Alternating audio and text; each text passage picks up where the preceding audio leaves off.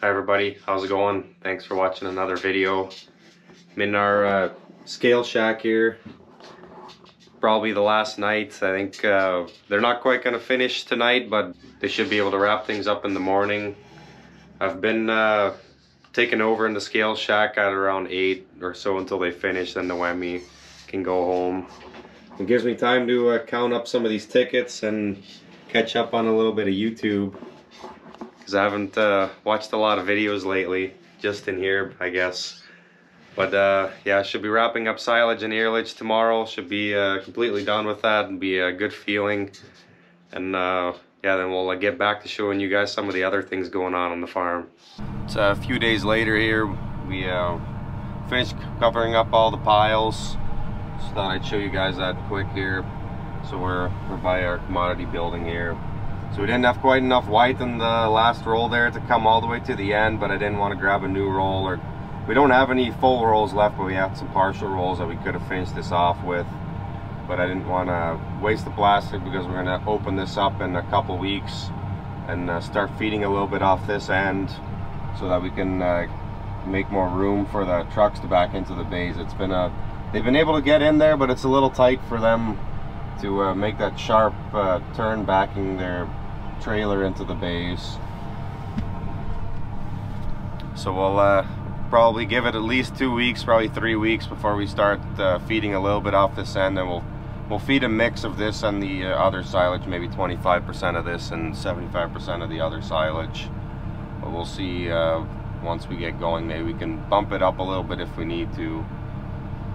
But it's uh, yeah good good to get done with all of that. Uh, now we can get on to some other things, get things ready for winter. A few water troughs I'd have to check the floats on and we cut the ropes off the curtains here a couple days ago. We'll uh, run them once and uh, check them all over. I have quite a few curtains that I ordered last fall that I thought were uh, needed to be replaced or were close to needing to be replaced. There's four for sure, and then we'll check over some of the other ones to see if there's any other ones that I think we should replace now. And uh, we're planning to pick up the heifers. We've got 20 heifers in the pasture at my sister's place. We're going to do that this afternoon and bring them home. I think they'll be happy to get back into the barn. They're, uh, they don't have much for uh, grass anymore. We've been feeding them some hay here the last uh, week or so but it's going to cool off quite a bit tonight. It looks like uh, low in the teens for Fahrenheit. So we'll uh, yeah, get them home, get all that, uh, get their water trough emptied out and get the hoses put away. And uh, yeah, looks like after tonight it should warm up a little bit again, but winter is here. It's been uh, pretty chilly in the mornings. It was a pretty quick change from fall to winter. It feels like right after we got done with uh, silage and earlage, it really turned around it seems like but we'll show you some of those things here. I need to put some bedding in the heifer barn this morning also. We'll uh, we'll see if I can get some filming of that otherwise uh, yeah we'll, we'll see where this video goes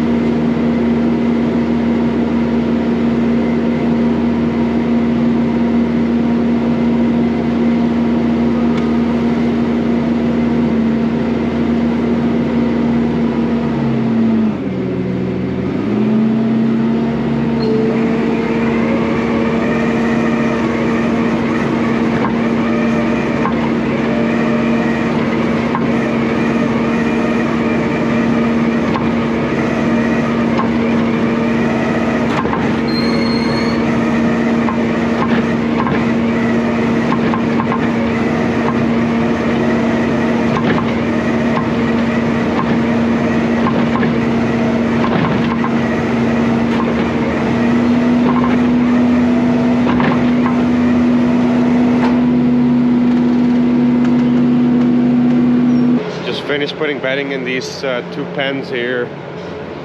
Uh, from that, uh, that shack is in the middle of the barn. From that shack to the west here, there's uh, one pen of uh, breeding age heifers right here. And then uh, one pen of pregnant heifers over here. So these are, I don't know, 15, 14, some are 14, most are 15, 16 months of age. And over there, there's would be some uh, pregnant ones, some bred ones, and some that are uh, too young yet to be bred. They're 12, 13-ish months of age there.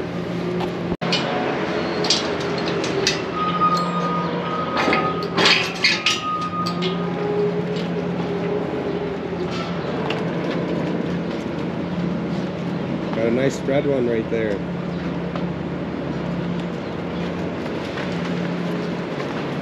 The beds are kind of on the low side, so I think we'll come back tomorrow or Tuesday and rake them and then put bedding in again one more time.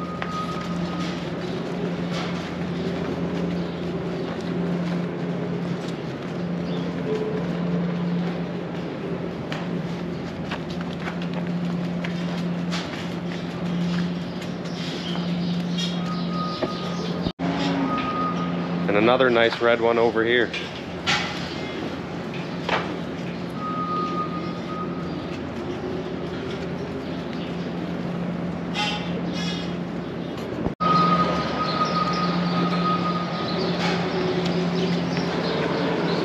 Heifers have done really well in this barn since we converted this over to freestall. So originally from uh, the left there to these poles right here, this was uh, deep bedded with straw. And when we added on to this barn, we converted this side to freestalls.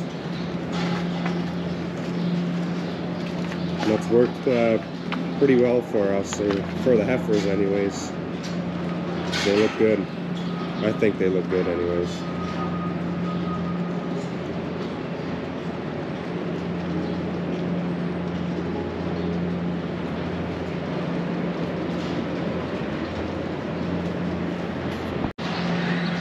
In our heifer barn now. Just gonna go through and check these waters so you can see that this one is all right, but there's uh, the anchor bolts are missing. This one's completely missing, and that one on that side is missing the nut. So I'm gonna try to put a new one in here, but it's looks like it was put in right on the seam between these two pieces of concrete. So I'm assuming it's not going to hold, but we'll try it. And then I saw there the two to my left there, I need to adjust the float a little bit. We don't want this being any fuller than it has to be or than it can be as they just splash more out and especially in the winter time if they're splashing it out it'll freeze up freeze up around the water trough and it just creates more waste but these are they're not very uh, doesn't doesn't give you a lot of adjustment because we have the heaters they're underneath the floats inside here and with those uh, heating elements in there, you really can't move that float a whole lot. But we'll uh, try to adjust those couple there, try to get that water level a little bit lower. Heifers didn't really like that I was pounding on that anchor, now they're all bellowing. But I got this one tightened up, but just like I thought, that one on this side, it just goes right in between the crack and between the two uh, pieces of concrete, so that didn't hold at all. So I'll have to figure something else out for that, maybe make a little bracket or something to get it away from that seam or drill it at an angle. Three will hold it for now, so I'm not too worried about that. We'll check these other two and try to get that float a little bit lower. I can show you guys what I'm doing. So this one, the level was, I mean, just about to the top here. And the way you change that is by adjusting this float, but you can see there's, I mean, there's maybe an inch of movement. So I, I might be able to adjust it one notch, we'll try it, but there usually isn't much adjustment on, especially on these small troughs for the heifers. A little dirty in there, we should probably come in and clean these on the inside. We clean out here where the heifers are, but we don't clean this in here very often. We'll try to adjust this and uh, see if we can get it better. They used to have round floats, now they changed to these square ones and they're not very good. They leak all the time and get water in them. And then they don't uh, raise up as quick quickly or stop the stop the valve here as quickly as they normally would.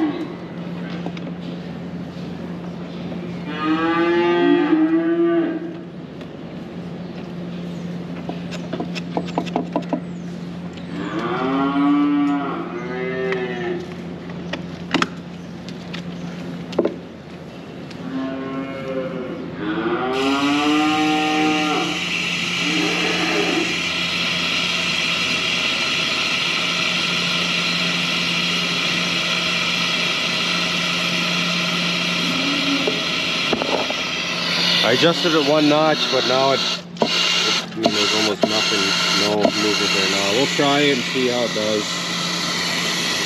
I don't like having these troughs too full because they make, the heifers make a mess out of it. They like to play with the water. I dropped it down probably a good inch, maybe inch and a half. So then we'll try it there. It feels quite pretty slow, but these heifers don't drink a huge amount of water. So we'll keep an eye on it. There's uh, one more to check here to the side, and then uh, most of these other ones looked okay. I haven't checked any in the milking barns, but usually my dad will let me know if any of those need to be looked at.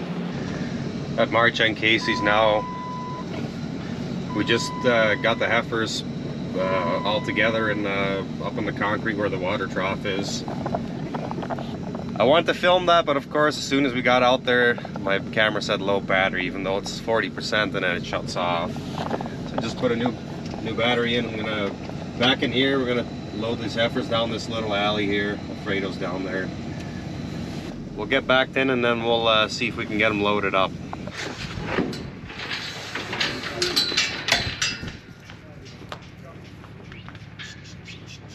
Hey. There we go. Go, boss. Oh. Come on, girls.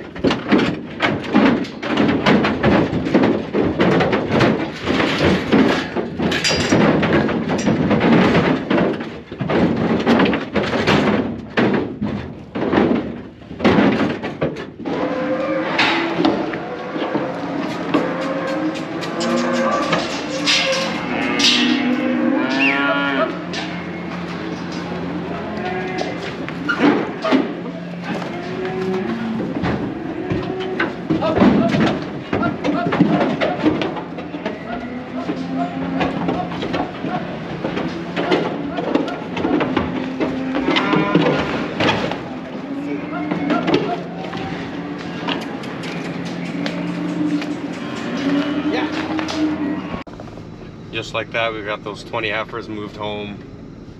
Went a lot easier than I uh, thought it was going to. Didn't have uh, much problems at all with uh, getting them uh, together and then getting them loaded on the trailer. Now we're uh, we're gonna go load some 18 calves out of the group hutches and bring those over to the heifer barn, and then uh, it'll be about time for for those guys to start feeding milk to the calves. I'll probably end this video here. If you guys have any comments or questions, uh, post them down below. And I appreciate you guys watching. Hopefully we'll see you in the next one.